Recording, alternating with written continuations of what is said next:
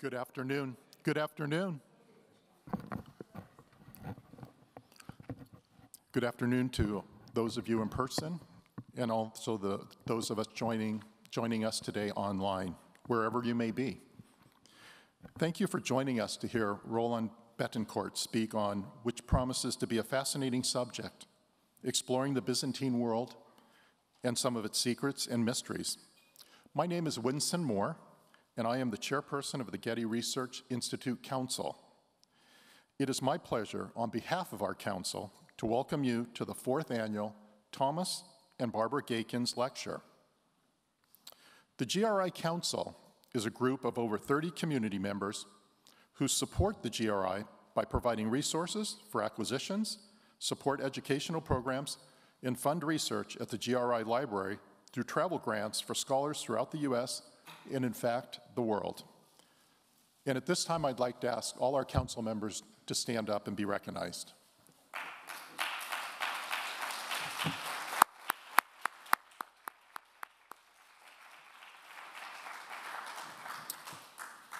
Council members have also been able to represent the GRI through trips to other institution and art sites within the U.S., as well as in China, Japan, Germany, France, and most recently, the Yucatan Peninsula in Mexico this past September.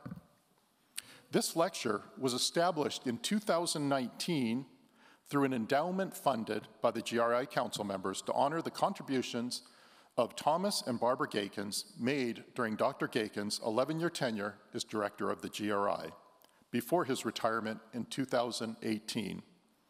I believe both Thomas and Barbara are joining us from Berlin this afternoon. Under Dr. Gaehtgens' leadership, the GRI established an award-winning exhibition program, launched world-leading digital art and cultural history initiatives, published many outstanding books for both scholars and the general public, and expanded the breadth of the GRI collecting and scholarly support programs to encompass a broader and more in interconnected worldview. Now, under the leadership of GRI Director Mary Miller, these initiatives continue and in fact are growing as she leads a dynamic, talented, and committed group of scholars and technical innovators in advancing the mission of the GRI. On behalf of the Council, I would now like to turn this program over to, to Director Mary Miller who will introduce Dr. Betancourt, today's speaker. I hope you enjoy the program.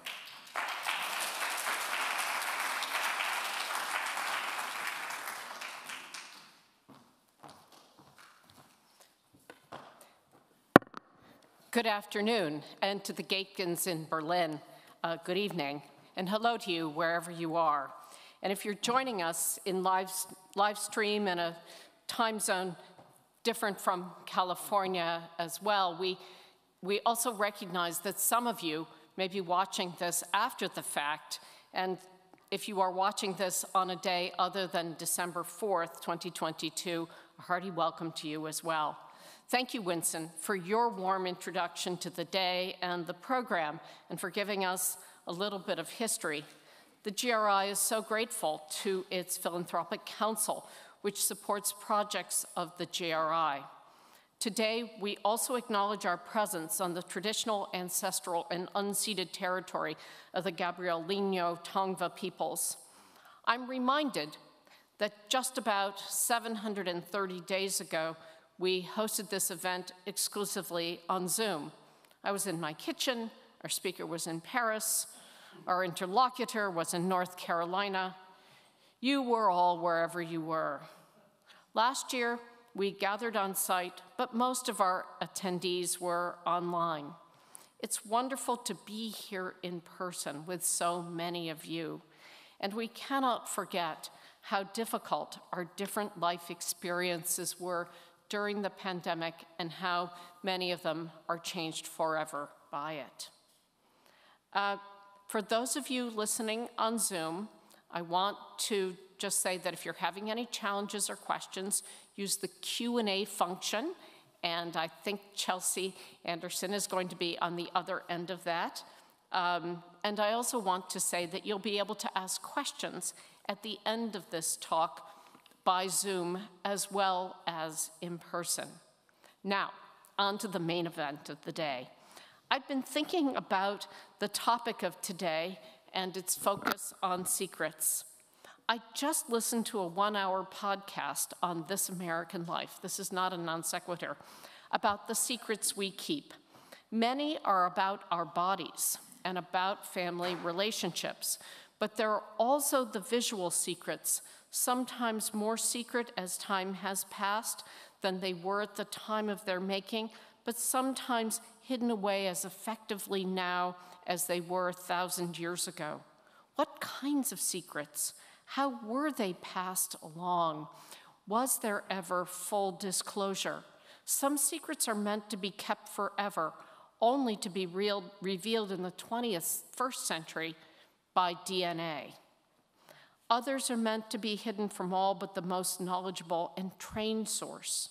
There's much to learn today, and it's no secret that Roland Betancourt is one of the freshest stars of the University of California art history firmament, uh, but whom I am certain will peel away some of the mystery of Byzantium for us today. In his quest to make the visuality of the Byzantine past legible and approachable, and to do so for Irvine students who have uh, just been sitting in the palm of his hand, has been no small mat matter. And in doing so, Roland Betancourt constantly reinvents Byzantium.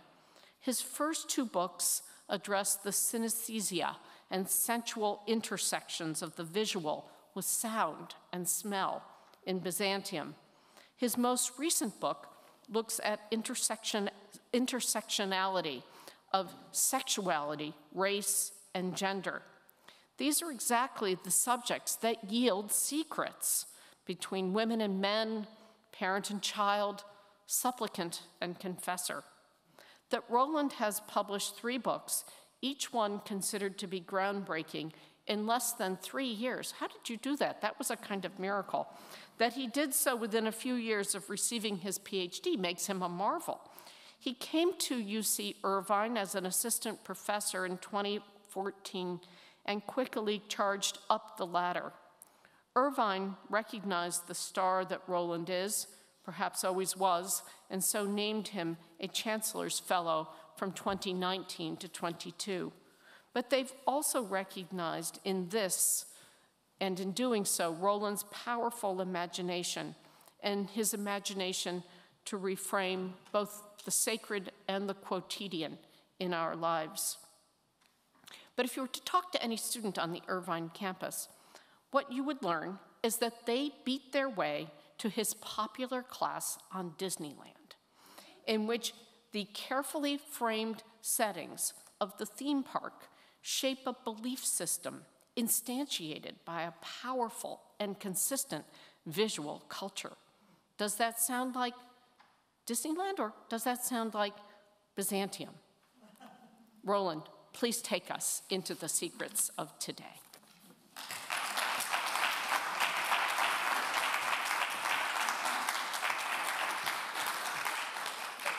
Thank you so much to the GRI and to the Council for having me here today, and thank you, Mary. That was the best introduction that I could have had to this topic, and I will not give any other introduction and start my talk. And thank you all for being here today.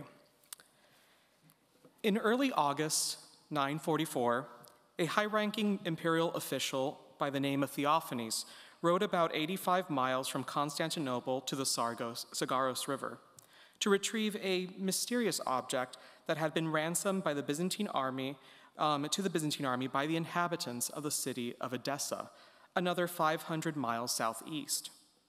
There, Theophanes met the object with a splendid procession, replete with torches and the singing of hymns, and together they made their way back to Constantinople, modern day Istanbul, arriving in the capital on the 15th of August, where it was received by the emperor.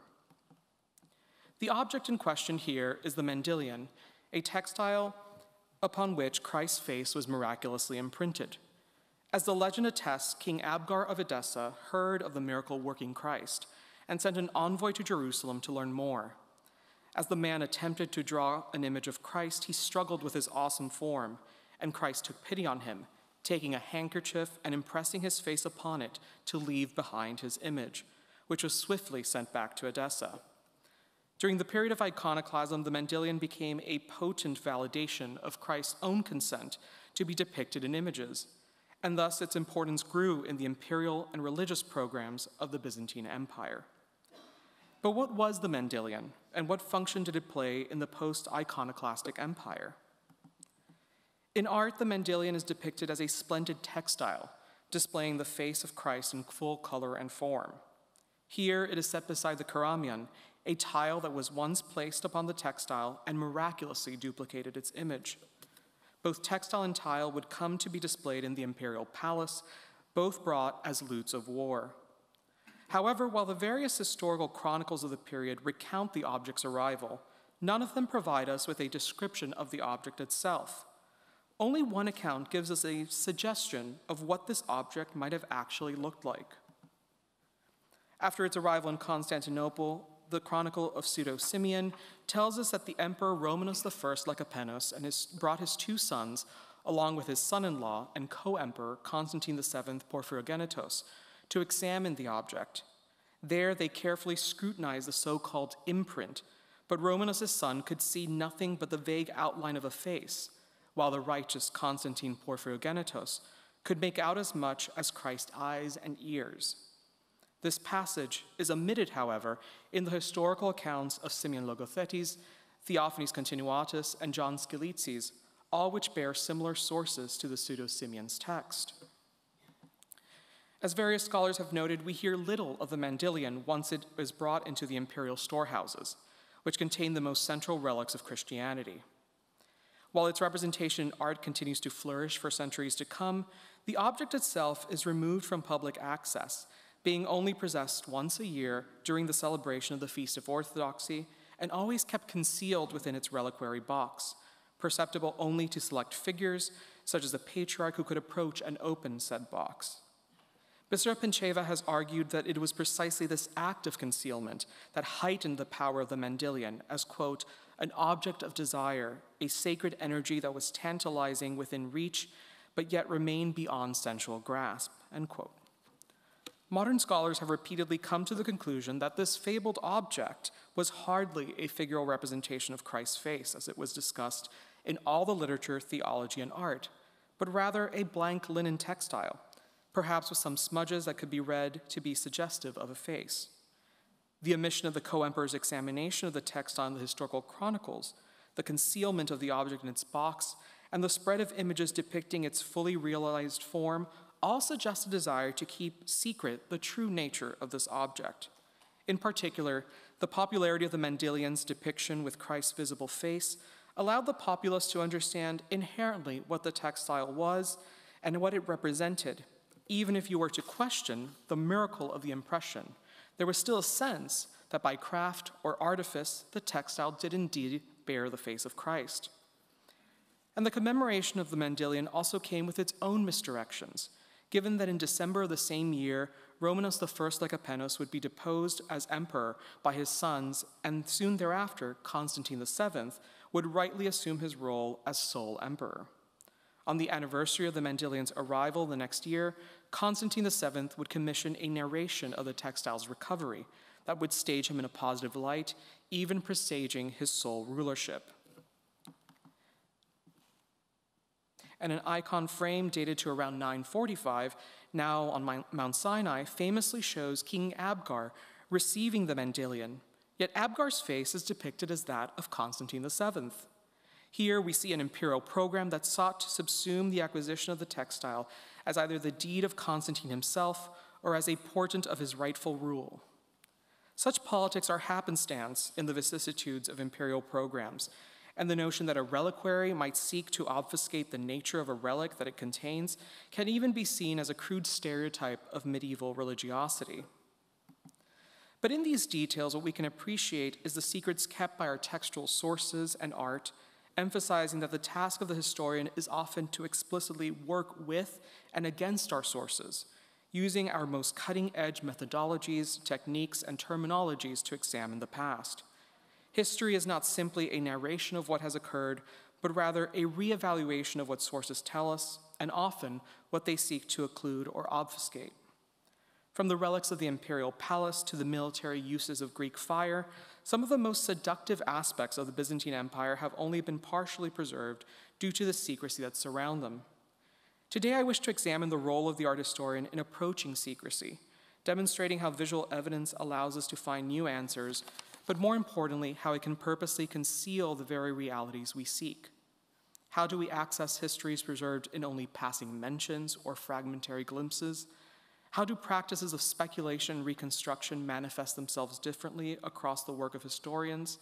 And how has secrecy captured the imagination of popular and academic audiences alike? This leads us to ask how secret knowledge is transmitted and how intimacies are edified around collective secret keeping. In this talk, I wish to outline the ways in which secrecy manifests itself in the Byzantine Empire. In order to understand the religious, imperial, military, and cultural deployments of that secrecy, its function, and its conceptualization. Relics, as we have begun to see, fully capture the relevance and intersection of the religious, imperial, and military realms of secrets. The reliance on their containers to simultaneously communicate and obscure their identity produces what Seeta Chaganti has called a poetics of enshrinement, underscoring the absent presence of the relic in the reliquary. This dynamic is one that Jaś Elsner has similarly discussed as being architectural in nature, referring to the construction of reliquaries as, quote, a kind of building that creates a spatial sense of interior and exterior, of barriers to be penetrated, of secrets to be revealed. End quote. And it is this tension between secrecy and revelation that articulates the sanctity of the relic. There is perhaps no work of Byzantine art that more eloquently captures the reliquary's own poetics of secrecy than the object known to us today as the Limburg Staurotheki. Here we find an object constructed around the tensions of concealment and revelation. This shallow box depicts on its front the figure of Christ, enthroned at the center, sitting upon a richly embroidered cushion and lyre-back throne that appears to emulate contemporaneous imperial furnishings, placing him as a parallel to the emperor. Beside him are John the Baptist and Mary, the Theotokos, flanked by the archangels Gabriel and Michael, with rows below and above them containing the twelve apostles. On the back, in hammered gilded silver, is the motif of the life giving cross with flourishing tendrils sprouting from the base. This staurotheki, literally cross box, was made to contain the relic of the true cross, understood to be the actual wood upon which Christ was crucified. The inscription running around the border of the box speaks to the crucifixion of Christ and also to the object's patron, stating at the end that the proedros basil beautified the container of the wood on which, having been stretched, Christ rescued all creation. While the viewer here looks upon a depiction of the enthroned Christ at the center of the lid, it is only in the act of unlocking the box and sliding up its lid that the relic is revealed. There, one is confronted with the wood of the cross, which modern technical studies have revealed to be composed of seven individual slivers arranged in the form of a cross upon a wooden core. This is the object that we see at the center surrounded by a series of depictions of various heavenly potentialities, such as the cherubim and seraphim, as well as various angels dressed in imperial garb. These protectors guard over the ten additional relics found within this object, each of which is concealed behind these small doors bearing the name of the relics they contain. These include Christ's swaddling cloth and five relics of the Passion taken from the Pharos Chapel in the imperial palace, including the sponge, the crown of thorns, the burial shroud, the towel that washed the feet of the apostles, and the purple cloak of Christ. Three additional relics are from Mary, including her mantle, and two from her belt, one from the bishopric of Zella, and the other from the church of the Chalkoprateia. And finally, a lock of the blood soaked hair of John the Baptist.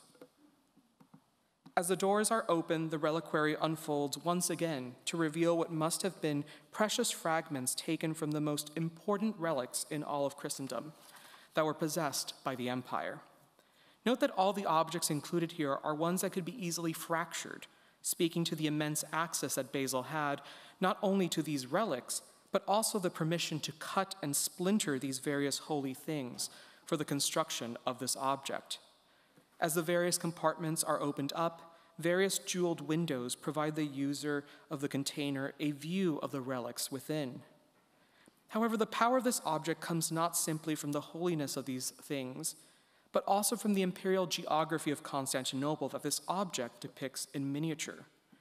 In the period of the object's construction, six of these relics can be traced to the Pharos Chapel and one to the Chalke Gate, both within the imperial palace, two from the Church of the Chalkoprateia, and one from the Church of the Blachernai, mapping out some of the most critical monuments of the city's sacred topography. Today, housed in the Museum of the Diocese of Limburg an der Lahn in Germany, the display of this object betrays a pious veneration that in itself conceals the reality of this object's creation and use. Set within a black glass case, the object is spread open for all to see. And even the small bottom right compartment's door is slightly ajar, suggesting access to its now lost relics. Before it stands a prayer bench, the only one in the room, imputing upon this object a distinct sanctity, uniquely worthy of veneration in a room filled with other liturgical treasures. Certainly, this is due to the only remaining relics in the object, the seven fragments of the wood upon which Christ was hung, formed into the shape of the cross. This statement here should not suggest that this object was once removed from prayer and veneration, but I want to emphasize that this was not the purpose of this luxury object. As Nancy Patterson Shevchenko has highlighted in her work, tracing the relics found in the container, if all these relics were kept under the imperial seal, as she asks, quote, what then can have been the purpose of the Limburg Staurotheki, whose compartments contain mere fragments or dust from these relics, along with a relic of the true cross? What use could the emperor possibly have for a pocket sized version of the relics he already owned? End quote. These are not mere rhetorical questions, but ones that point to the unabashed reality of the object and its function, first and foremost as a weapon of war. Like the other processes of haptic, opening, and revelation, the cross of the Limburg Stavrotheki itself can also be taken out from its container. An inscription upon its backside reveals its patron and purpose, stating that it was Constantine and Romanos, the emperors, who forged it, referring to Constantine VII and most likely his son, Romanos II, who, like Romanos I, would become Constantine's co emperor, this time from 945 to 959 giving us a secure date range for this internal object, which itself is some years earlier than the container itself, made between 968 and 985. But what is most telling about this inscription is its stated purpose for the object. After comparing the stretching of Christ upon the cross to the emperor's embellishment of the relic, the inscription ends by comparing Christ's smashing of, the, of, the, of Hades with the emperor's deployment of this object, quote, the crown bearers, having now adorned this, crush with it the temerities of the barbarians, end quote. This reliquary was not intended for private worship in our contemporary imaginings of medieval Christian piety, but as a weapon to be used on the battlefield. When Basil fashioned the container to include the true cross along with the additional relics some decades later, he did so in his imperial capacity. Proedros was a title created for him by Emperor Nikephoros Phokas, either in 965 or 968, in addition to his already magnanimous title of Parakoimomenos, literally the one who sleeps beside the bed of the emperor, referring to his title as the imperial chamberlain and one of the highest ranking positions in the empire, reserved for a eunuch like himself. This was the same title that Theophanes bore when he received the Mandylion at the Sagaros River and brought it to Constantinople. And both these eunuchs had also been successful generals with many defeats against the enemies of the empire. As mentioned earlier, each of these relics did not simply emerge in Constantinople, but rather were understood to have been taken by imperial forces from across the region over the course of centuries of military campaigns, just as we saw with the Mandylion. Some of these relics had even come quite recently and thus bore the knowledge of recent military triumphs and conquest. For instance, the second piece of the Virgin's girdle was brought by Constantine VII and Romanos in 942, and the blood soaked hair of John the Baptist was taken from Syria in 968 or 975, depending on the source. Thus, the Limburg Staurotheki was as much a map of the ecclesiastical topography of the city and its relics as it was a map of the conquests of empire, each relic bearing the knowledge of its provenance and the Byzantine military successes that brought them to the city. Surprising as it might seem, objects like these were known to have been carried into battle, precisely as defensive weapons, especially relics of the True Cross. In one military treatise compiled at the bequest of Constantine VII himself, the text outlines the movements of troops and officers on the battlefield, noting how the cubicularius, one of the eunuch chamberlains, carried the venerable and life giving wood with the container hanging upon his neck. Note the large loop at the top of the Limburg Staurotheki, allowing for this object to be hung potentially upon the neck of a high ranking eunuch. Relics were understood by the Byzantines as being, quote, receptacles of divine energy, end quote, as stated by John, John of Damascus, and these energies could certainly be mobilized by human intervention. Nothing makes the utility of such relics more evident than one military speech given by Constantine VII as the army is left to fight the Hamdanid Arabs. There he states that a holy oil has been drawn from the relics of the Passion, along with those from his swaddling cloths, tunic, and shroud, among others. This oil, he says, is being sent alongside the troops, quote, to be sprinkled upon you for you to be anointed by it and to garb yourself with the divine power from on high. End quote. The very format of the Staurotheki speaks not only to its salvific powers, but also to its function as a tool.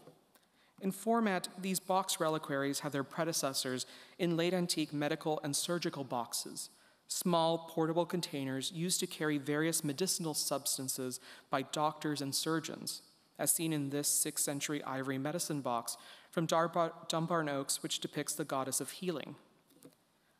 Other examples, such as this one in the British Museum, and dating to the first or second century, bear a striking resemblance to the Staurotheki, with its sliding door, um, sliding cover, and doored compartments. This resemblance, as Cynthia Hahn points out, stressed the understanding of relics as having a medicinal healing capacity. But furthermore, it speaks to the form of an object associated with the specialized know how of surgeons and doctors, whose knowledge had been passed down and enriched since antiquity. Both the Staurotheki and the medicine box are active tools of human intervention, primarily ones that would have coexisted on the battlefield for the defeat of the enemy and the treatment of the injured troops.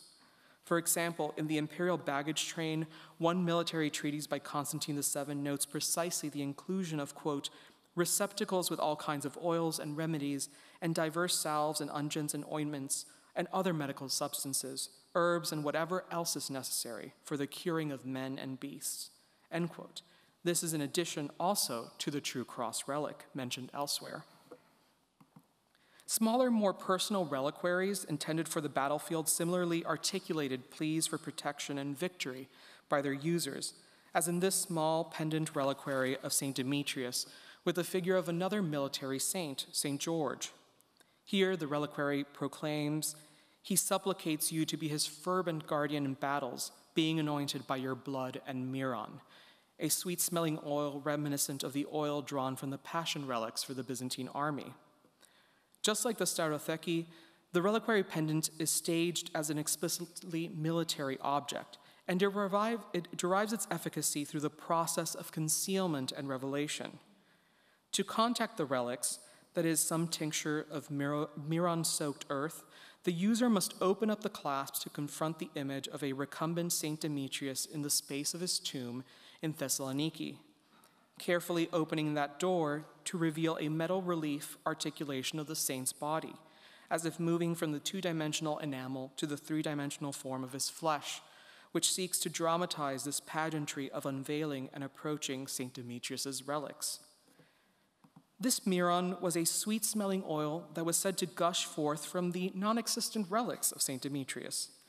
While tradition held that the saint's body was somewhere on the site of the church of St. Demetrius in Thessaloniki, attempts to find it had always failed, eventually giving way to the discovery of this fragrant, oil like substance in the soil. From the 10th or 11th century, this miron began to flow into the crypt of the church and was brought up to his empty tomb, where pilgrims collected it in lead ampullae.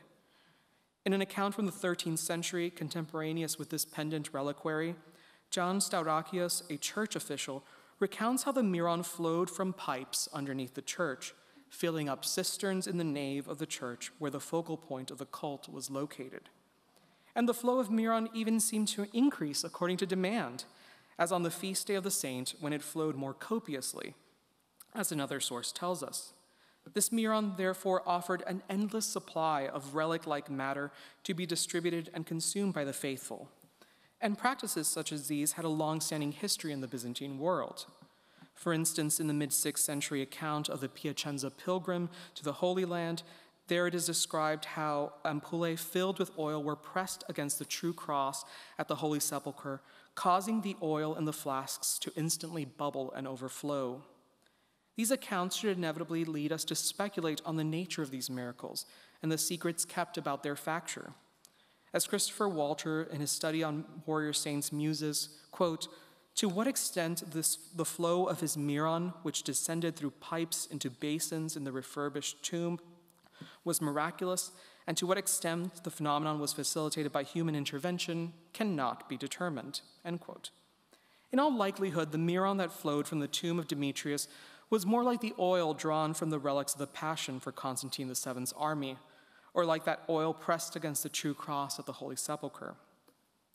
In other words, it was not an oil that miraculously oozed out of hallowed remains, but which was poured into contact with this holy site, and by virtue of this association was deemed efficacious.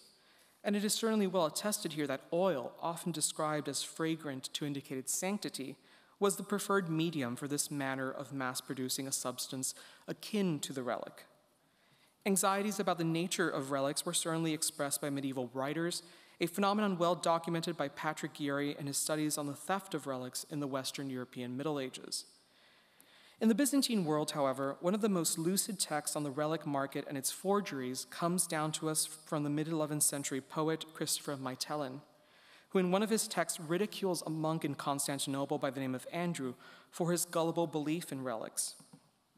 In this staunchly satirical poem, Christopher repeatedly praises Andrew for his imitable faith, which has allowed him to believe that he possesses five breasts of St. Barbara and four heads of St. George, writing, quote, So fervent, Andrew, is your faith, persuading you God's champions were hydras and making female martyrs seem like wild dogs, the former possessing thousands of heads, the latter with a multitude of breasts like female dogs. On account of his extraordinary faith, Christopher lists a litany of relics that Andrew has collected. The punchline of the joke being that all these relics come from figures whose bodies either departed this earth intact or who are incorporeal entities like the angels and cherubim. Christopher's vignettes even shed light on the practices and techniques of forgery at one point describing how a con man took the bone of a sheep and painted it all over with saffron dye, scented it with incense, and wrapped it up, and then sold it to Andrew, claiming it to be the bone of a martyr. Here we see how an aged appearance and a sweet smelling fragrance might uncritically be taken as a self presenting marker of sanctity. Curiously, however, in Christopher's poem, the true relic, per se, is nowhere to be found. There is no foil or counterexample that seeks to demonstrate that Andrew has erred or committed blasphemy in his own stupidity. Instead, it is faith alone that receives the ire of the poet, casting a disparaging light on the relics of Constantinople without ever being so bold as to speak of any specifically. One is left to wonder, for instance, how Christopher viewed the girdle of the Virgin in Limburg Staurotheki, which existed in the same church in two different versions, brought from two different places, and allegedly believed to be one and the same object. While Christopher's poem presents a satirical extreme to the questions of deceit and veracity that surround relics, his interrogation brings us to the core of what animates my interest in secrecy here that gray space in between deceit and good faith action. When Constantine VII informed his troops that an oil was drawn from the relics and a mixture produced from it that could be sprinkled upon them to anoint them for battle, clothing the troops in divine power, the emperor is describing in good faith a process that might have certainly been the same through pipes and cisterns for St. Demetrius. What the military oration makes clear is that even the relic, that object deemed to be contiguous with the very matter of saints in some capacity could be forged in proxy by human intervention. In this case, through the production of an oil sanctified by contact. However, the sources on St. Demetrius are more taciturn about this human intervention than Constantine's words, perhaps due to the absence of a concrete body or relic at that site. Yet the logic and process still seems to be in accord with the other, long-standing practices for the human production of relics, what might appear to us today as a contradictory statement. It is in these interstices that secret keeping becomes most pertinent um, as a concept for examining and speculating upon how we approach historical paradoxes. Secrecy is not the same thing as deceit. It is not a lie by omission. In fact, as we have seen here thus far, sanctity and the experience of presence and contact with the saintly is precisely articulated through the pageantry and successive unfurling of objects like reliquaries. As you open up the Limburg Staurotheki, you move from an iconic depiction of Christ, Mary, and St. John the Baptist that readily gives way to a feeling of presence when one confronts the individually concealed fragments of objects that once touched them. That presence, although highly qualified, is nevertheless one that seemed impossible when you first began to unbox the object with its more common and expected depiction of these figures through visual images on its cover. As an object of war, this reliquary is also one that existed in, a more, in the most intimate spaces of the imperial entourage, and which the troops could have only experienced and been galvanized by at a distance or by proxy. In its ability, for example, to produce a battlefield um, oily relic tincture for the troops, it also manifested that power through the obfuscation of the mechanics of what this act of oil drawing might have actually looked like. And as elite as this process might have been within the inner circles of the emperor and his chamberlains, it would have also been a process that bound these figures through the intimacy of the access of the reliquary and the knowledge of the tincture's production, details which you might not necessarily wish to express in full to your troops. To push these questions further, let us move to one, toward another, um, one of the more intriguing aspects of, of the Byzantine court the automata of the throne room. On September 7th, 949, Liutprand of Cremona, a diplomat sent from Berengar of Italy, arrived in Constantinople. In his travelogue, Liutprand recounts the wondrous ways in which he and his entourage were received at the great palace of Constantine VII. Entering the reception hall of the Magnaura, Liutprand is confronted with what was for him an expected sight a gilded bronze tree upon whose branches sat mechanical birds of different sizes and who chirped according to the song of each of their species. As they approached the emperor, led by two eunuchs, gilded lions of immense size flanking the throne began to roar, tongues flickering and their tails striking the ground heavily, while the birds upon the tree began to shriek. After prostrating themselves before the emperor three times, they look up to find the throne floating in the air high above them, the emperor's costume as well having been fully changed. Then the ambassadors began their audience with the emperor, speaking through an intermediary at their side. The automata of the throne room are today shrouded in secrecy due to their total disappearance, and to the startling realities that this text, of course, recounts, though we should have no reason to doubt Liutprand's account. The audience hall is similarly described in the Book of Ceremonies, an internal manual for court ceremony codified by Constantine VII as well. What is most pressing about Liutprand's account here is the way that this upstart diplomat approached the reception, stating that when the lions and birds began to call out, quote, I was not filled with special fear or admiration, since I had been told about all these things by one of those who knew them well, end quote. It would seem then that Liutprand undid the surprise, the fear and admiration that the performance might have stirred up by penetrating that veil of secrecy surrounding that reception hall and being prepared in advance so as to not show any surprise. Yet when he raises his eyes to find the emperor floating above him, Liutprand confesses that, quote, he could not understand how the emperor did this, unless perchance he was lifted up there by a pulley of the kind by which tree trunks are lifted, end quote. While some suggest that Liutprand um, provides a reasoning here to downplay the impressiveness of the scene, His confusion and speculation instead remind us of the role of wonder and wonderment when confronted with secrets. Like Alfred Gell's dictum about the technology of enchantment and the enchantment of technology, technology can certainly be used to enchant audiences, but technology as technology can also itself be enchanting.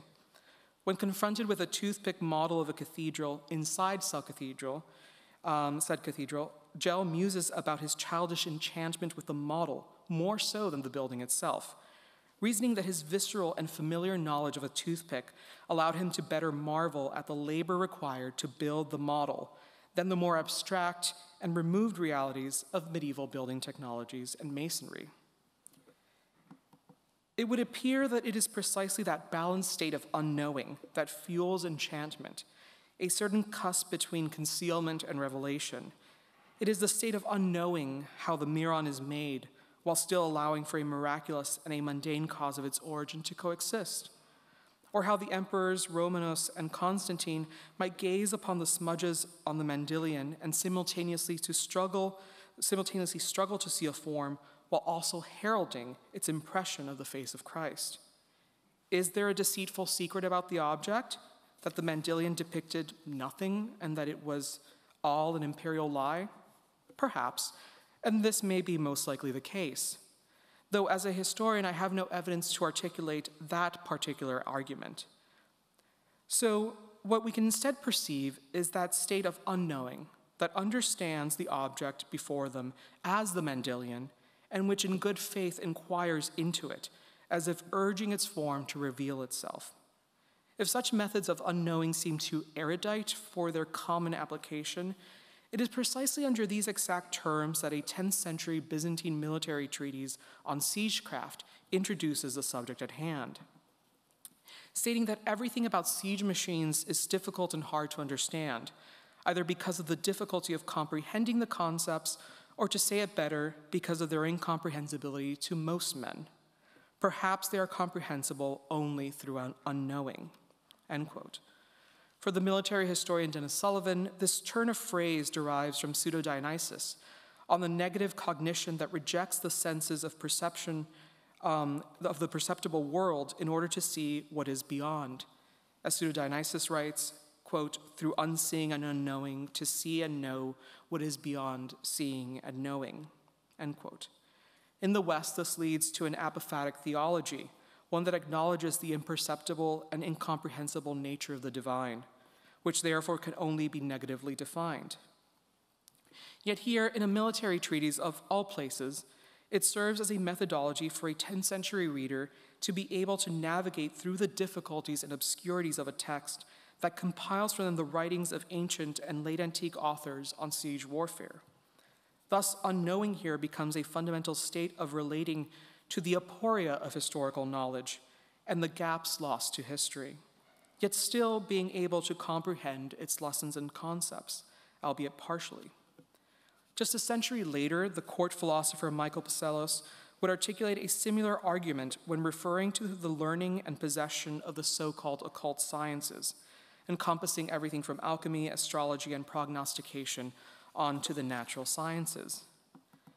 In a letter to a friend on the subject of education, Psellos writes regarding such matters These things are secret to many and wholly unknowable. But to me, nothing unspoken is unknowable to the all searching curiosity of my soul. And I have collected the methods of all of them, but I have not used any of the secret practices. Instead, I swear off their users taking from, the, from these men only enough to be able to learn about some of the occurrences whose functioning seems inexplicable to most. End quote. Here we see another formulation of unknowing as a method for accessing secrecy, variably defined by Psellos as that which is unspeakable and that which is hidden or forbidden. For the learned Psellos, nothing is out of reach through his knowledge, though his knowledge is tempered so as to not partake allegedly, in these forbidden practices. Here, the aporia of his learning, the gaps in his knowledge, are purposeful so as to qualify his ability to use that knowledge while nevertheless achieving an understanding of the concepts which would seem to mystify everyone else. In the earlier military manual, the gaps in knowledge are crossed over by the harnessing of the state of unknowing, allowing a similar grasp of the material that nevertheless presents a feasible picture of the information, viewing that as a way of mobilizing this knowledge. While, um, knowledge. While achieving different aims, both the philosopher and the military author embrace unknowing as a practice to confront the secrets lost to history and to the obscurities of ancient learning. More broadly, unknowing can, be defi- can define the broader relationship between a subject of empire and all those elements of imperial rule, statecraft, military, and religion, that are purposely obscured, concealed, difficult to comprehend, or part of the natural world under the emperor's dominion. The relationship between the subject and the unknown exists through the philosophical, religious, and imperial forms of marveling that sustains the, polit- the political structures of power. This marveling and wonderment has been well documented here through literary texts, historical chronicles, tactical treaties, and works of art aimed at confronting its readers and viewers with various aspects of imperial life that are restricted only to an elite. This is not a willful state of ignorance, but rather a suspension of knowledge, understanding its limitations and absences without allowing that to impede in one's operation in the world. In considering the processes of medieval subject formation, unknowing becomes an apt Byzantine concept for articulating that relationship to the secret worlds of empire, making them legible and comprehensible through obliqueness and fragmentation. Secrecy, as we have witnessed here, is often the rhetorical progression through which sanctity manifests itself in the reliquary, how the shock and awe of imperial automata seduce their audiences, or how military tactics and religious rite pass on their practices between a learned few. But secrecy can also fortify the bonds of communities, as well as mark the desperate pleas for dignity and privacy of an individual. In the mid, late, uh, mid to late 5th century life of Saint Epiphanius of Salamis, the narrative recounts the life of this illustrious 4th century saint and church father. In the narrative, the story tells us that Epiphanius was Jewish, only converting to Christianity when he was 16 after a divine vision, an aspect of his life that appears to have been introduced in this particular retelling of the story. His Judaism becomes an overarching motif of speculation in the story, culminating at the moment after his death aboard a ship while sailing back home to Cyprus. Before arriving in Cyprus, a sailor approached Epiphanius' laid out corpse the narrative tells us that a sailor with whom Epiphanius had had a dispute, quote, moving toward Epiphanius' feet, wished to lip, lift up Epiphanius' cloak and see if he was circumcised. But Epiphanius, even though he lay dead, raised up his right foot and gave it to him in the face, and cast him to the stern of the ship. Then for two days the sailor lay as if dead. On the third day, quite appropriately, the sailors lifted him and brought him to Epiphanius. When they set him down at his feet and he touched his feet, straightway he stood up. End quote. Here, the author dramatizes what must have been the sailor's speculation about whether or not this holy figure had indeed been born a Jew. This is a desire to peer into the figure's past and attempt to reveal his religious conversion through his genitals. Yet before he is able to answer his impudent question by peering upon Epiphanius' private parts, the saint posthumously defends his dignity and privacy. Let us compare the ending of Epiphanius' story with that of another saint's life composed around the same time, that of Saint Marinos. Marinos belongs to a group of saints' lives from the 5th to 9th centuries, where figures assigned female at birth join an all male monastic community, changing their name and appearance and living out their lives as men. While past scholarship refused to see these stories as those of trans men, scholars like myself and others have recently analyzed how these narratives present potent models for pre modern trans lives, often presenting with immense care and sensitivity the stories of these figures. One of the hallmarks of these narratives are the trans monks' insistence that even at their deathbed, their birth assigned sex not be revealed to anyone else in the community. In the life of Marinos, for example, there is a young child named Mary who is raised by her father after her mother dies. And once the child has come of age, the father decides that he wants to join a monastery. Wishing not to be separated from the father, the child asks to have their hair shorn, clothed as a man, and their name changed to Marinos. The father obliges, and Marinos is understood as a eunuch in the community on account of his beardless face and good looks. After Marinos' father passes away, Marinos, however, is accused of defiling a nearby innkeeper's daughter who had copulated with a Roman soldier. And upon conceiving a child, blamed, quote, the young monk, the attractive one called Marinos, end quote.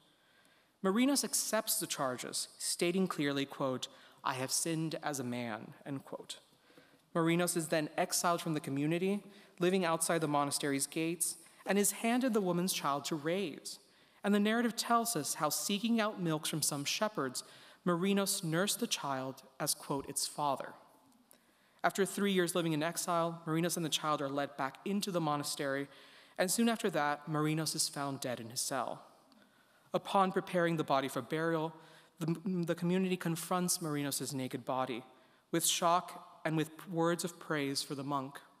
The, monk. the monks beg God for their own forgiveness as Marinos is absolved of his alleged sin with the innkeeper's daughter. As in the story of Epiphanius, the investigation of the holy man's corpse is sought out to answer a question about their identity, one felt most pressingly by the story's readers rather than oftentimes the people in the story themselves. Once Marinos was prepared for burial, the innkeeper's daughter arrives at the scene possessed by a demon in retribution for her lie. And just like the dead soldier on the ship, once she is brought to the remains of St. Marinos, she is miraculously cured. But what is strikingly different in this narrative and that of those other trans monks is the absence of Epiphanius' kick in the face. Across these stories, these trans monks often beg that their past not be revealed to the community. So many of these pleas, however, are often left unheeded, though usually by accident and with a great deal of contrition. In one story from the monastic community at Scetis, for example, we follow the life of a husband and wife pair who reunite later in life as monastic brothers. The husband Andronicus and his former wife, now Anastasios, who lives his life as a male eunuch in the community. At his deathbed, Anastasios turns to the elder and begs him, quote, For the sake of the Lord, do not strip me of what I am wearing but send me to the Lord as I am, and do not let anyone other than you two alone know about me. End quote. When Anastasius' the soul left his body, the elder strips off his own cloak and hands it to his companion, instructing him to prepare the body, with the clear instruction, quote, dress him in this on top of what he is wearing. Then the story tells us that accidentally, while the brother was dressing him, he looked and discovered that he was a woman, but he did not say anything. It is in this quiet moment that we see the desire to preserve Anastasius' privacy.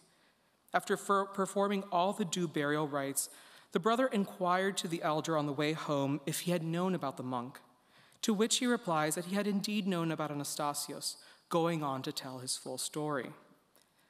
The Vita's closing words then supplicates to us, the readers, quote, let us pray that the Lord will make us too worthy of the path of saints and to find mercy together with our fathers and with Abba Anastasius the eunuch. End quote. In these words, which are not uncommon in the lives of these monks, we find a moving and careful desire to respect the monk's wishes about the preparation of his body for the sake of his dignity and an affirmation of his gender identity. The story commemorates him as male and praises his uncontested sanctity as a holy man here.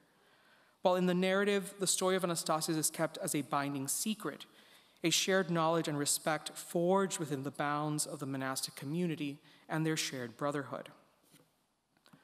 What then do we make of the secrets we keep?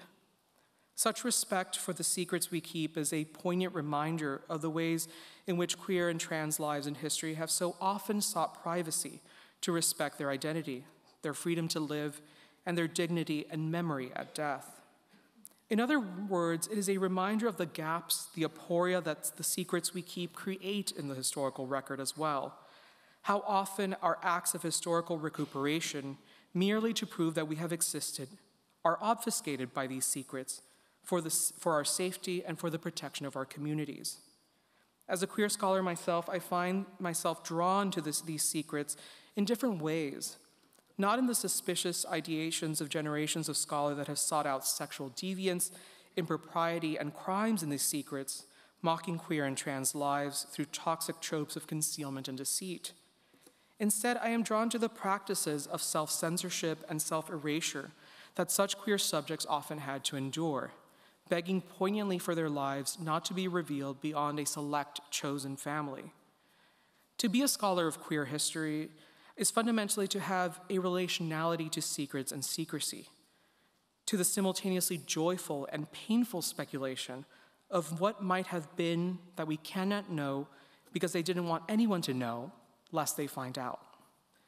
This history is more imperiled today than ever as transphobia and homophobia find renewed footings in our politics and culture, and as conspiracy theories erode our abilities to fruitfully bear witness to these stories without seeming to fall into methodologies of speculation and fabulation in an unruly terrain that must consequently lie beyond fact checking and data points. You see, throughout this talk, I have been so able to prod into secrecy during the empire of Constantine VII Porphyrogenitos, precisely because this learned emperor set off on a campaign to codify the workings of his empire in such depth that imperial and military secrets that today would have been lost to us were retained. Across many of our 10th century texts, we find the passing comments of Scribe that are quite delightful, and even Constantine himself noting the immense labor and research that went into adequately compiling and collating this knowledge that had only been passed down through word of mouth or scattered across the archives of the empire. Many of the works of art that us art historians look at are similarly guilty of being the product of immense wealth and limited access that make many of its nuances and complexities that we discuss secrets in their own right of the court or the religious elite. Many of the objects and histories described here today have been the source of immense speculation, imaginary reconstructions, and revisionist histories that actively go against what the historical texts tell us. For example, amateur historians have attempted to argue that the Mandylion was in fact the Shroud of Turin, which we know to be a late medieval creation, and they have even attempted to reconstruct an elaborate folding pattern and machinery to, of display to justify the mention of only Christ's face. While various scholars have even also argued against the details of the Mandylion's reception and location in Constantinople, convincingly arguing for different dates of arrival, locations of deposit, and display than what any of our historical chronicles tell us. This is ultimately the craft of the historian, caught between the seductive allures of secrecy and the challenge of historical work that does not simply parrot our sources, but uses modern methodologies and ideas to give voice to that past. But when it comes to reconstructing the realities of queer and trans subjects, that same generosity has often not been shared. As mentioned at the start of this talk, the portrait of King Abgar with the face of Constantine VII holding the Mandylion of Christ betrays the concealment of two secrets. First, that it was the deposed Romanos who brought the Mandylion to Constantinople, not Constantine. And second, that this object surely did not depict Christ's face, but was most likely an aniconic linen textile. These are all well known secrets that the scholarly literature has deftly handled. When looking at the illustration of St. Marinos in the Imperial Menologion of Basil II, we confront the final scene of the monk's story, showing the innkeeper's daughter rushing into the frame, hair standing up possessed by a demon, Marinos is laid to rest with the innkeeper at his side and a fellow monk at his head. The illustrator, however, has chosen to dramatize the moment before the woman's repentance, depicting Marinos not as male as he lived out his life, but in female monastic attire to heighten and underscore his innocence in conceiving the child. This discrepancy is made even more striking by the fact that the title on top of this page for Marinos' feast day does not simply list him as Mary, but rather explicitly states, This is the memory of Holy Mary who changed her name to Marinos. Thus, when confronted with images like these, we must not take the easy way out and say that the Byzantines saw Marinos ultimately as just, quote, a woman in disguise, as so much past scholarship has crudely dismissed such stories. Instead, we should offer such images and narratives the depth and complex nuances that we offer other works of art and literature, understanding the imperial programs behind them, the labor that images do, and how they do that labor, and the various ways in which art, literature, and historical accounts purposely often seek to occlude certain realities, work out greater cultural anxieties, and most importantly, how they often subvert and go against our own expectations of what medieval people would have done. This allows us to work through the veils of secrecy and privacy to see Marinos as a gender variant figure before modern terms existed to describe him, as a trans male saint who lived out his life, passing as a eunuch. Just as we can see Constantine VII Porphyrogenitos as King Abgar, vying for his identity as the ruler chosen by God himself to be sole emperor and the Mandylion's face of Christ, concealing through this image that the image upon it was itself missing. It is in these vicissitudes and complexities that Byzantine art has the most to show us about our worlds and theirs, about the secrets they kept that continue to enchant us, that lead us to wonder, and that encourages us to speculate across loss and absence about the lives of people like us, lost to history, and yet also now enlivened by it. Thank you.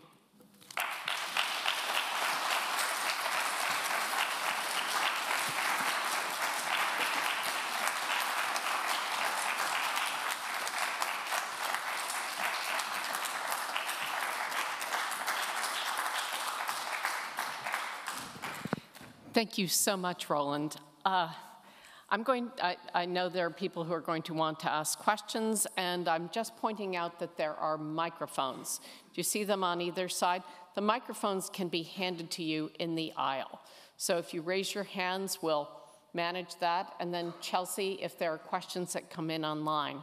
Uh, there are many, many questions that I would like to ask you, Roland, but I wondered if you could, I, I want to take you down a slightly different path and ask you if you could talk a little bit about the um, provenance of the, uh, of the reliquary. And because this seems to be something that has been highly generative to your thinking, that the actual manipulation and movement and opening of the, the, this wooden box with the reliquary, with the seven pieces of the true cross inside it. So could you talk a little bit about that and then perhaps how it and the, uh, how it comes into form a kind of core of your story today? Thank you. Um, yeah, so the reliquary is box is quite interesting. Um, many of these reliquaries would have been kept in the imperial palace um, particularly at the Pharos Chapel. Um, during 1204, um, during the Latin conquest of Constantinople, um, essentially the Latin crusaders who got bored on their way to um, the Holy Land essentially ransacked Constantinople, and over time, over the period of the occupation, began to essentially send off the reliquaries to the West, or they melted them down for their precious metals. Um, and so this is one of the objects that has survived um, and made its way to Germany after a long process. Um, and within the Western medieval world, these reliquaries um, also had a huge impact because there's this understanding that they're coming from this strange world of Byzantium that is, in many ways, has very deep ties. And I think, you know, general understanding that, you know, the founding emperor is allegedly he and Helena, his mother, found the true cross, and therefore there are these associations that this is, you know, pretty reliable true cross in all the other true crosses that exist out there. Um, so there's this sort of transmission of even the forms of these types of Byzantine reliquaries, these staurotheki, that sort of populate themselves in the West. And um, various scholars like Holger Klein and Cynthia Hahn have done exceptional work um, tracing sort of that iconographic provenance, let's call it, um, of this reliquary. And so for me, this object is a really sort of dynamic way of asking the types of more sensitive questions about issues of gender and sexuality that come up because it reveals inherently the complexity not only of the Byzantine Empire. You know, I hope that for those of you who have no sort of understanding of Byzantium before and who have never even heard the word, perhaps there is now this sort of interest in all these reliquaries and battlefield treaties and eunuchs um, that make Byzantium very dynamic and interesting space. And so for me, it also is a way of um, introducing a lot of the key concepts about Byzantium, particularly during the reign of Constantine VII, who is understood as a sort of scholar emperor um, because he was very committed to sort of preserving the intellectual history of the empire. And you know, I, I, mentioned in passing these mentions of the research done. It's there are all these great moments of these scribes saying, "I found everything in terrible Greek, so I had to rewrite it all for you." It's really difficult work, and there are these constant sort of disclaimers about the labor of this. So I also feel like this object shows us a really interesting glimpse into a period of the empire that um, really has a lot to be shared about for a general public as well.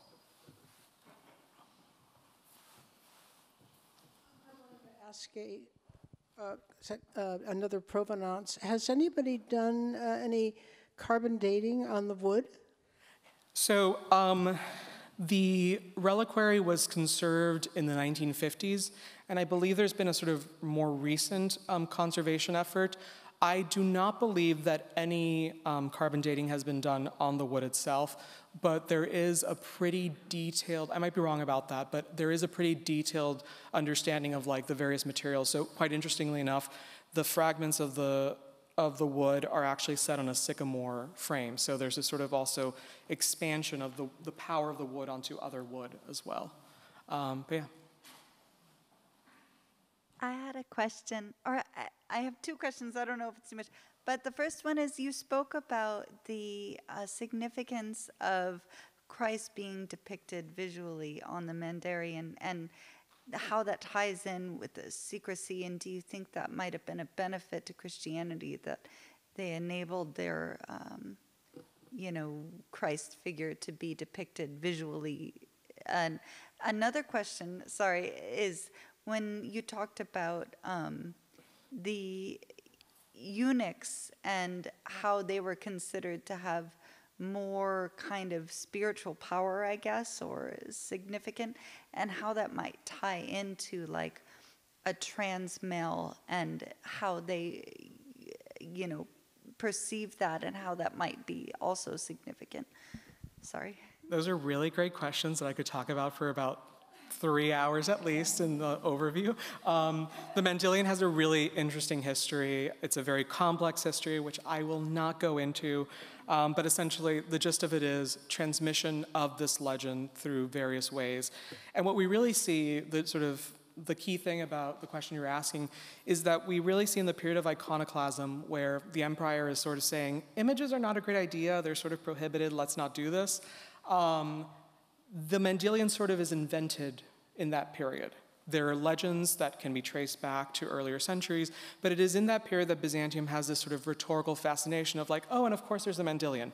What, what are you talking about? Is sort of the general gist. And so what happens in the period of, in the post-iconoclastic period, is that the understanding of what the Mandylion is as an idea has been more established, and the relic is sort of used to confirm, now it is under our grasp, and this is the object. And sort of it's um, I've been doing some side research on the Mandylion for another project.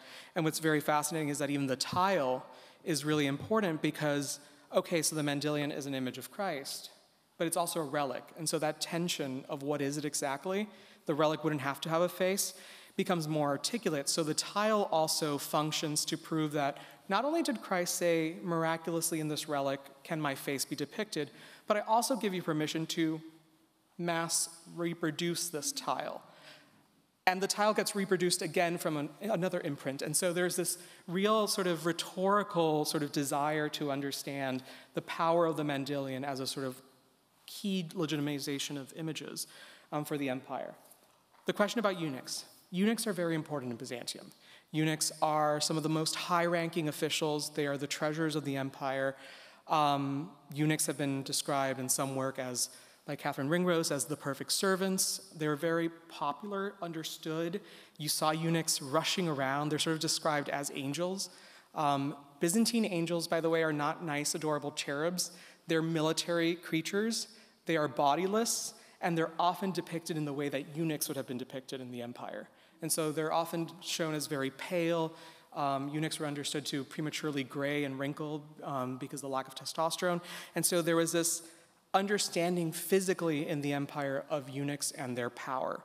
And so they were very much, these connections as angelic hosts were very clear, in addition to serving these military roles. And so that's what's also very fascinating with all these um, narratives of trans monks, they all are understood as being eunuchs. And so the presence of eunuchs in the empire creates a space for what some have called a third gender. It's, it's certainly far more complex um, than that, um, where eunuchs can exist sort of in a sort of non binary state. Um, and what is fascinating to trace sort of the history of eunuchs and how they're discussed is that sometimes they're attacked as, you know, being conniving and ensnaring webs like women and trying to always gossip to trap people because they were seen as being very powerful and always sort of on the hunt. Or they can also be seen as you know, being unable to control their passions, also as women. So there are these stereotypes that are within other Byzantine literature can be coded as masculine or feminine. And eunuchs, Byzantium constantly is going back and forth as to what their sort of popular opinion is about eunuchs, even though they continue to be popular in the empire. Again, we can talk about eunuchs all day. Roland, thanks for a terrific talk. Um, it seemed to me that there's a very complex relationship in your talk between how secrets both preserve power, um, but are also protective, and whether you could trace that out a little bit more, because in in a less complex talk, the first half would be about power and the second half would be protection. But actually, there's both in each sides of it. Yeah, thank you. No, of course. I think that's what is most interesting, and one of the reasons why I think this is such a also rich topic to sort of also reconsider a lot of our narratives about Byzantium is that, and you know, broader historical narratives as well, is that, you know, the sort of story of the throne of the automata is there are secrets inherent in that. You want this technology to be sort of kept within the empire. Um, there's a lot of competition also with the Arab world that also we have very similar, for lack of a better term, tiki room like depictions of birds that sing on trees um, in the imperial throne rooms as well. And so we have this sort of competition and protection of knowledge.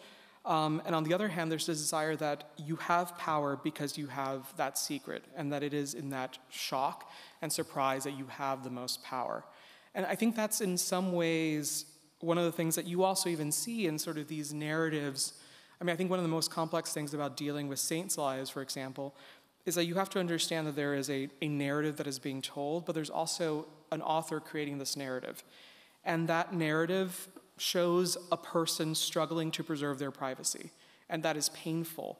And it can be very hard at times. But there's also this author who is completely sharing their story for you. And it's voyeuristic. And there's that sort of tension as well that these sort of pleas for privacy are ultimately, by being in the story, not being preserved. Um, and, you know, the added question there would be like, who are these stories also for? They're very clearly outward facing, but they would have also been for a monastic community that would have sort of kept a history and knowledge of um, their brothers. And so there you'd also see this sort of idea of power and secret keeping as a sort of protection of knowledge and transmission, which I think what is great about this topic is how it sort of shatters into these various ways that have this continued consistency throughout that I find really seductive. Hello, thank you for the lecture. It was interesting to say the least. Um, you talk about secrets we keep. These were saints who spent their whole lives trying to keep secrets in their quest for religiosity and sainthood. They spent most of their whole lives not discussing their sexuality because that should be preserved by God in their minds and their eyes. I just find it ironic that we just talk about it so openly now. Well, it's if, actually. if they chose to talk about it, that would be entirely different. Much like most eunuchs were slaves who were castrated not by choice.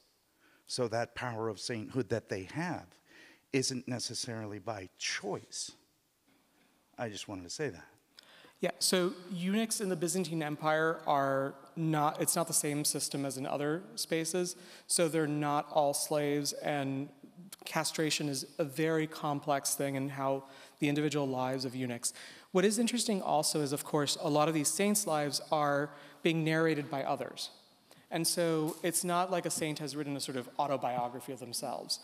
And what is very interesting is that sexuality constantly comes up in these, in these saints' lives. And it's very clear how it's being talked about. Sometimes it's a form of like identity formation of something that they are either struggling with in terms of like concealing their sexuality or like their desire for sex, just generally, not sort of queerness and so forth. Um, and so you do have these various articulations where these saints' lives have actually been explored by a lot of scholars as being hypersexual, which is a really fascinating thing because you're having these read in a lot of different church spaces. Um, you're having private devotion. In the Western medieval world, you have all sorts of sexual scenes in Bible texts and psalters, which all have their own sort of spiritual function as well to understand what is the relationship between these ideas. And perhaps Byzantium, again, is a very different place from the West. Um, probably one of the most interesting um, figures that comes out of the mid 11th century is St. Simeon, the new theologian. Um, Simeon has all these, what are called his divine hymns of love, um, where he actually talks about his erotic relationship with God. And he structures his desire for God as an erotic relationship, even saying things like, you know, why do you blush, reader? God has sanctified all of me, including my penis. And there's all these sort of erotics of like basically finding um, divine experiences through this sort of eros. And Simeon is also very fascinating because in one of his poems, he actually goes in hard about his own sort of experience and he says, talks about that he is a sodomite in will and deed. Um, so you have these very open sort of understandings that I think are sometimes shocking with the Western medieval understanding of the Middle Ages, but also it really demonstrates that the sort of divisions between sexuality and religiosity and the divine are really modern constructs that have sort of emerged out of the period of enlightenment when there were real desires to show the Middle Ages as sort of backwards facing and so forth. And so that is what I think is also very interesting about the Byzantine world is that they have an complete access to the corpus of Greek learning, and they're constantly commenting on this. And so their understanding of like eunuchs are as informed by Aristotle as they are by the court eunuchs of the palace. So, thank you.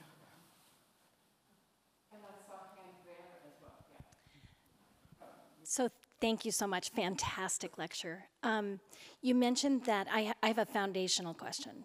You mentioned that this, the soldiers wore the reliquary, reliquary. How big are we talking? How heavy was it? Uh, it's about this thick, um, and it's about this big. We don't know if it's that precise reliquary that they were wearing. We know that they were wearing objects like these with a true cross. So, with a true cross alone, it could have just been the cross itself. So, the cross itself, we know, was made by Constantine VII, Porphyrogenitos. Constantine VII wrote that military treatise that says that the eunuchs carried the cross around their necks. So, therefore, at the very least, just a singular cross at the largest, the, the object, I thought about this and I, if I should say something about it, it is feasible that this object would have been worn. Um, also, I would also point out that wearing around the neck doesn't mean that everything has to be on your neck. So, you know, like flag bearers that have like poles that they carry, we do have in depictions of them carrying like their processional crosses, which would have come in front of the reliquary, sort of as an imperial standard. Um, that object would have could possibly have been carried by some sort of, you know, weight distributing mechanism as well. But it is, it is fairly um, sort of carryable. I have not personally tried to wear it around my neck. Um, put that on the to-do list. yeah, of course. Oh, yeah, thank you for your talk was just so beautifully delivered and illustrated, in addition to just being so interesting. So thank you for that. Um, I want to continue with what Andrew was asking about with the power and the protection. Um, I found it so interesting the way that you talked about the sort of pageantry of revelation for the reliquaries, the idea of deceit and power in hiding, and also in sort of protecting the relic. Um, but one question I have is Was there any understanding of the power of the thing itself that could harm you if you saw it, and that might have been another reason to hide it, that either certain kinds of people could never see it, or you had to be prepared or purified in order to, to, to see it or, or touch it. And that was another reason for all of these sort of layers of, uh, of, of hiding. Yeah, that's a great question. I mean, with this, these particular objects, I cannot think of an example where that comes up, especially in these sort of more sort of pragmatic treaties. Um, but certainly, I mean, there are moments. I mean, Epiphanius kicking is a is a great example of like you're overstepping certain bounds. Um, in terms of sort of concealment, there is a lot sort of that is part of the ritual. You know, we know that women cannot enter the sanctuary itself. There are certain sort of prohibitions about movements, I think, generally applied. I'm trying to think if there was anything particular. I mean, the, the canons for, or rather the, the sort of descriptions of the rites are very much saying, you know, you can't do certain things. Now, is there any repercussions? The, the, the Byzantines are interesting in that capacity. We don't have, I mean, I'm sure there are examples, but for ex- the thing that comes to mind immediately is that images already are dangerous. Um, so, for example, there's one account that basically says that if you look up to the dome where there's the Christ Pantocrator, um, Christ as the creator of all the universe and ruler of all.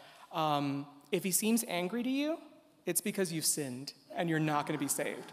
Um, if he's happy, then you're good. And so there's this idea that he's enacting final judgment in the present. Um, and so I think that's one of the ways in which there is some elements of that. It's somewhat later text. Um, but yeah, I'm trying to think. There must be a really good example, which I really want to find out of someone who shouldn't do things. And there are great examples in the medieval Western world, yeah. That was a wonderful last question to end on. Um, and are, are you smiling? He's smiling. I'm, I'm, not suggesting that you have the power of the divine. Um, but I, I think that we should, in fact, take this conversation out. We're having our reception right outside these doors and continue the conversation for um, the next bit um, over some refreshments. So, Roland, thank you so much. Thank you. Thank you.